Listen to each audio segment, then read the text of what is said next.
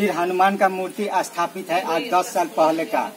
यहाँ असामाजिक तत्व तोड़ने की कोशिश कर रहे हैं। देखिए आज ही सुबह तोड़कर जिला परिषद के यहाँ जो चौकीदार है वो सब तोड़ ताड़ कर चले गए हैं। ये सब देखिए यहाँ से सब ईटा फीता सब तोड़ ताड़ कर तोड़े हैं वो। यहाँ का जिला परिषद विवाह भवन और लॉज कुछ बनाने के लिए सोच रहे हैं।